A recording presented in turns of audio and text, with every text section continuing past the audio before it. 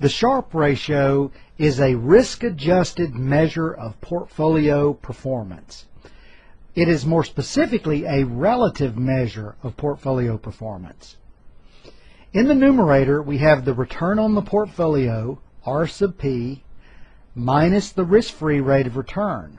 This gives us excess market return in the numerator. In the denominator, we have the standard deviation of the portfolio. It is a measure of portfolio risk. So, again, in the numerator is excess return. That's the return that the portfolio earned in excess of the risk-free rate. Certainly a portfolio manager hopes that the numerator is positive.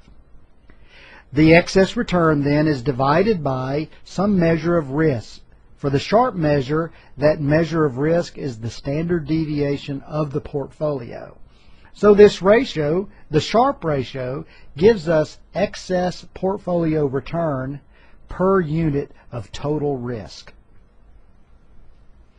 The Treynor measure is also a risk-adjusted measure of portfolio performance. It too is a relative measure.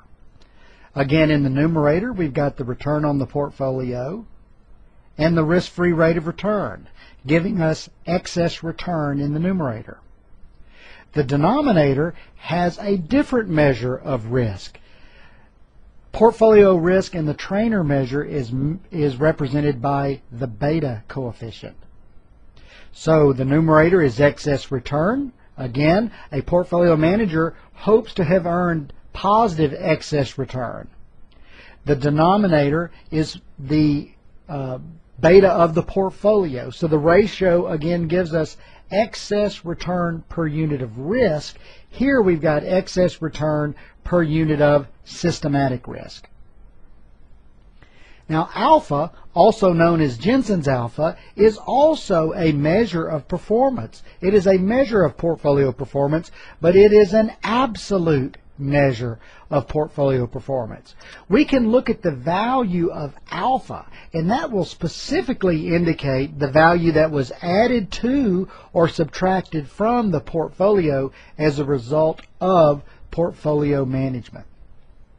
The formula shows us that alpha is equal to the actual portfolio return, which is R sub P, minus this term in brackets. I hope that the term in brackets looks familiar to you. It is your friend and mine, the capital asset pricing model. It's the model that we use to determine the required rate of return for an asset. So really, alpha is simply the actual portfolio return minus the return that the investor expected to earn when they invested in that particular asset.